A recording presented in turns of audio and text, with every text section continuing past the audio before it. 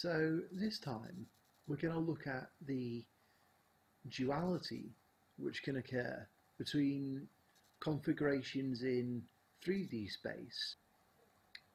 Ordinary ideas in projective 3D geometry can be converted into some really kind of much less intuitive but completely logically equivalent ideas. So it's much easier if I just show you what I mean. So I'm going to discuss what are called the propositions of incidence.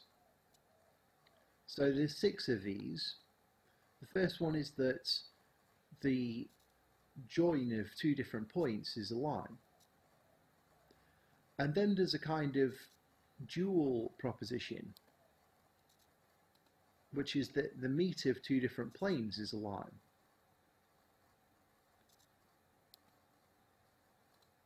Another proposition is that the join of a line and a point that's not in that line is going to be a plane.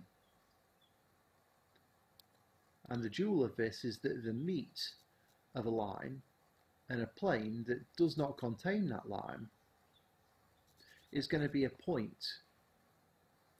You'll see the relationship between these um, statements on either side of the columns in a second.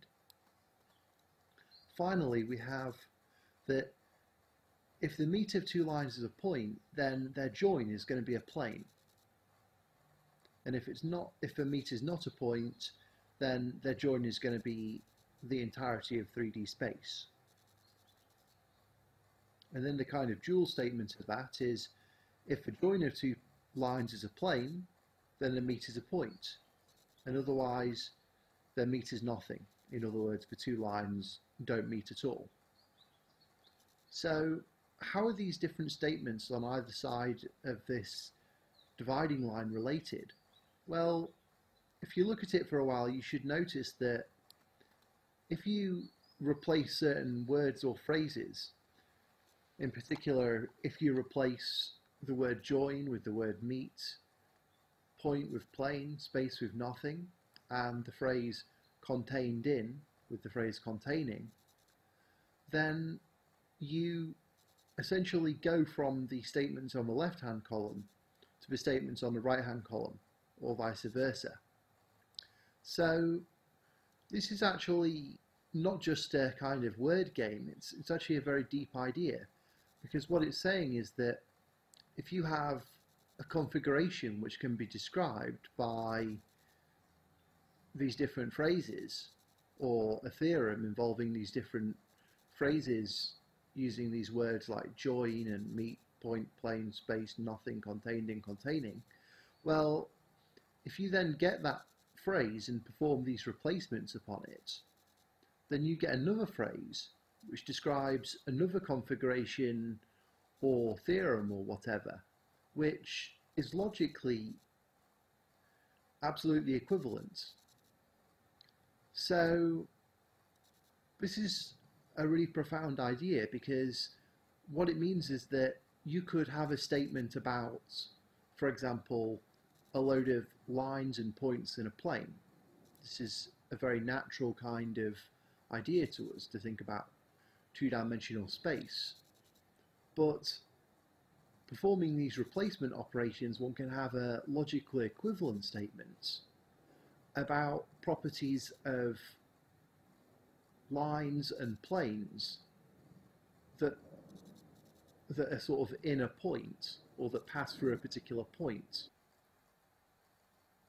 Okay, so we can use this idea of duality in space to find alternative logically equivalent statements to given true statements in geometry. So, for example, here we have a statement that if there are three points that are not all collinear, in other words, they're not contained within the same line, then there's going to be a unique plane that contains them all. And if we apply the replacement rules that we were just talking about, replacing the word point with the word plane, the phrase contained in with the phrase containing, then we get an equivalent statement that if there are three planes that are not all containing the same line, then there exists a unique point that's contained in them all. In other words, three planes, which don't all hold the same line, meet at a unique point. So we can see that we can go from one true statement to another by applying these replacement rules.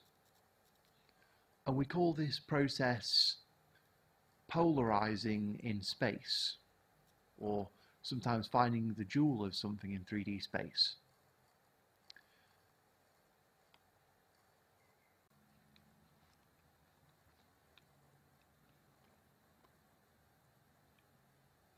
Okay, so I'm just going to talk a little bit about how explicitly one can find the dual of a particular figure or configuration in three-dimensional space.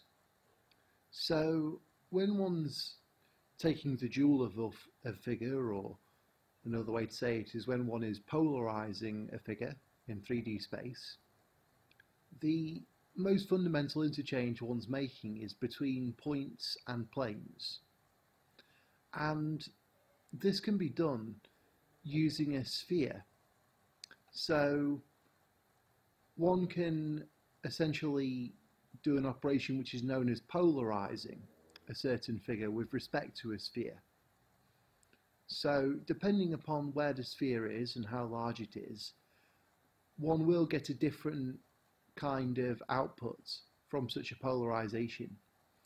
Essentially, one's using this sphere as a sort of tool to do something that's almost like a kind of inversion.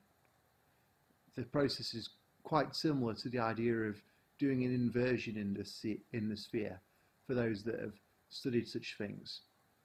Um, but the basic idea is that points and planes get interchanged uh, by using the idea of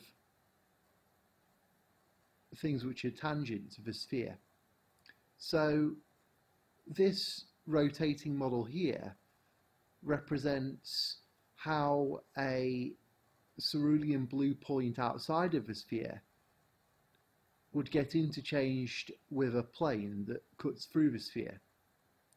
So um, when one does this polarization, well, in general, when one does polarization, one would refer to a lower dimensional object as a pole, and the higher dimensional object it gets interchanged with, in this case the point getting interchanged with the plane, well, the higher dimensional object is called the polar. If you want to remember it, you can think, well, polar is a longer word and it refers to the high dimensional object. So in this case, the polar of a point outside of a sphere is a plane which cuts through the sphere um, through the circle which the cone from the point which meets the sphere tangentially forms.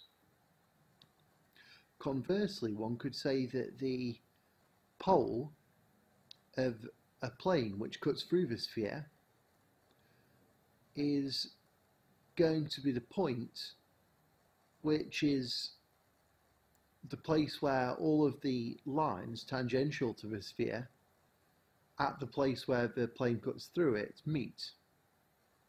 That would give the point at the apex of the cone.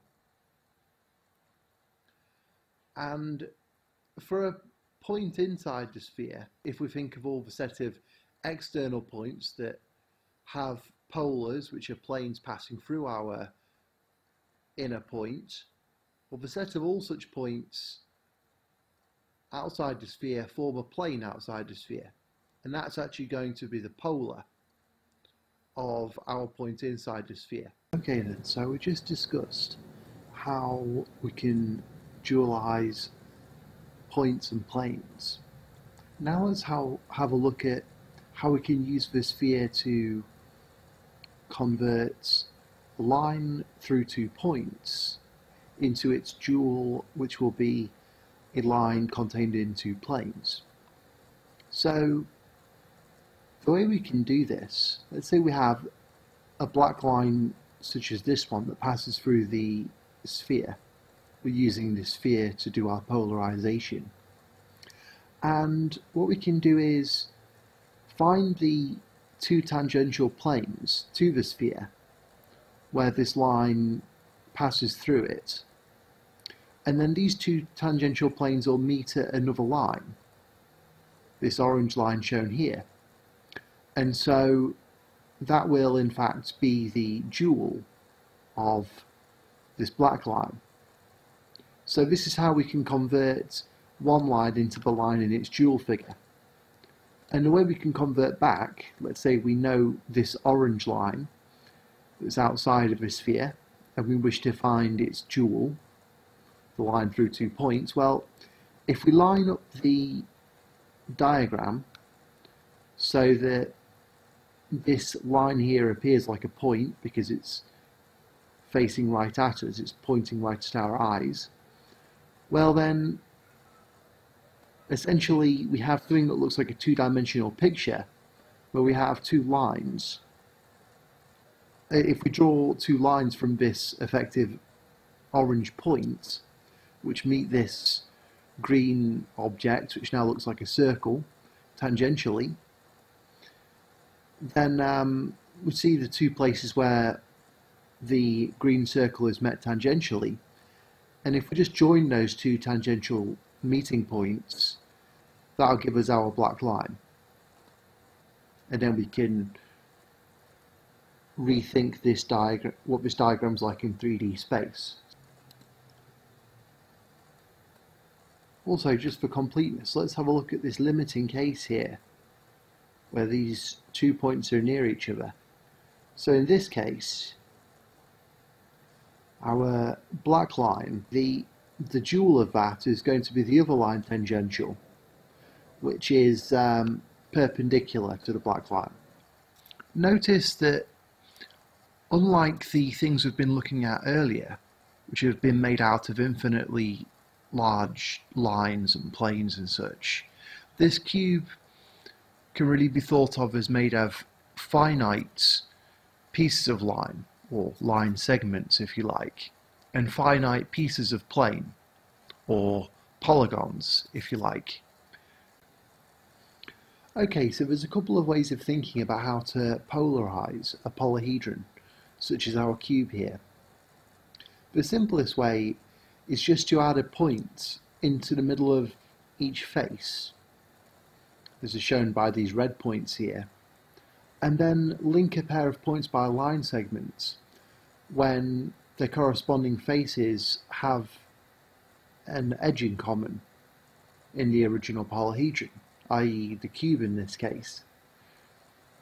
So that's a kind of um, general method to polarize a polyhedron. However, one can also do it using the rules I was just talking about involving a sphere. In this case using, say, a light blue sphere. So if we inscribe such a sphere inside our cube, then we can see that taking every line of this cube,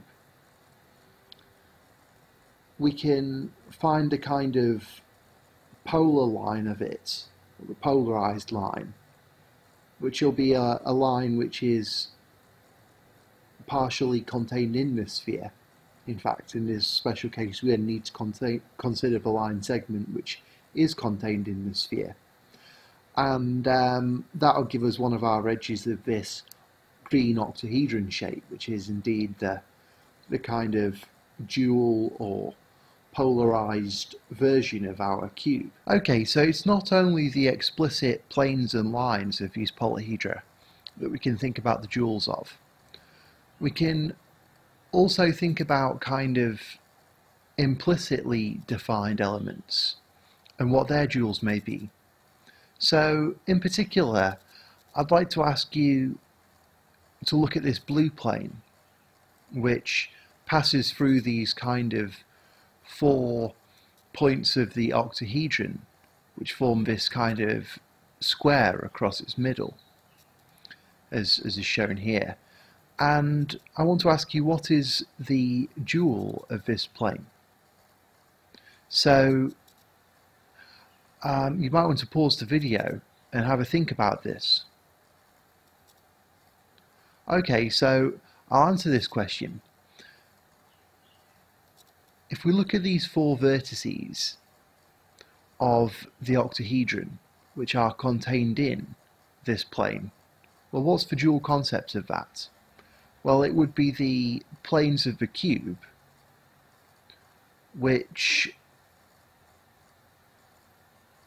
contain the corresponding vertices. So in particular, we'd want to be thinking about